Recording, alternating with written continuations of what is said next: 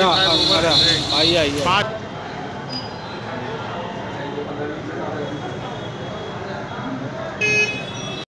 यार साढ़े तीन घटना पता चल रही चार घंटे अब हमें तो दो घंटे पहले हैं? हुसैन। मनोज क्या घटना हुई है आपके साथ? मैं यहाँ पर शॉपिंग के लिए आया था मेरी भतीजी की शादी है। जी। मेरा भतीजा काम को गया हुआ था मैं साइड में खड़ा था दुकान की। जी। एक साइकिल वाले ने आके मुझे टक्कर मारी। पीछे से दूसरे आदमी ने मेरे जेब में से पैसे निकाल लिए। कितने रुपए थे आप? दो लाख रुपये थे। तो कोई पकड़ भी गया है कोई आरोपी? जी मैंने साइकिल वाले को पकड़ लिया है जो मेरे ऊपर गिरा है।